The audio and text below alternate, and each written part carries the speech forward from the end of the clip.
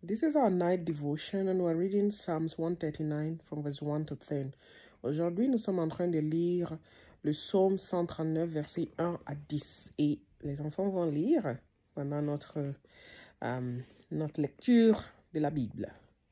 Allez, commence. Au 7 décembre de David, Somme. Éternel, tu me sondes et tu me connais. Sais quand je m'assieds et quand je me lève. Tu pénètres loin de ma pensée. Sais quand je marche et quand je me couche. Et tu pénètres toutes, toutes mes voix.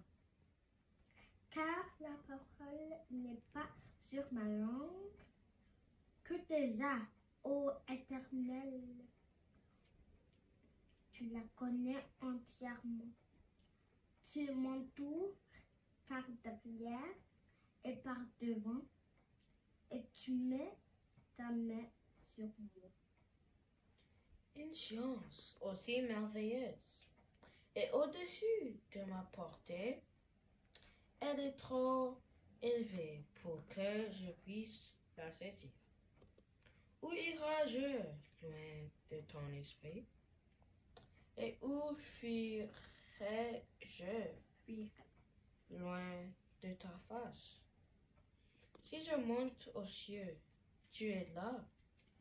Si je me couche au sé- séjour des morts, te voilà. Si je prends les, les ailes de l'aurore et que j'aille habiter à l'extrémité de la mer, là aussi ta main me conduira et ta droite me saisira. Amen. Amen. D'accord. Moi, je vais lire les deux derniers. Je peux prendre ça? Donc, ça va être euh, le verset 12. 139. Je vais lire euh, le verset 11. Alors, je vais lire le verset 11. J'étais en train de lire en anglais. Le verset 11. Même les ténèbres ne sont pas obscures pour toi. Euh, non, alors, verset 11. Si je dis, au moins les ténèbres me couvriront, la nuit devient lumière autour de moi. Même les ténèbres ne sont pas obscures pour moi.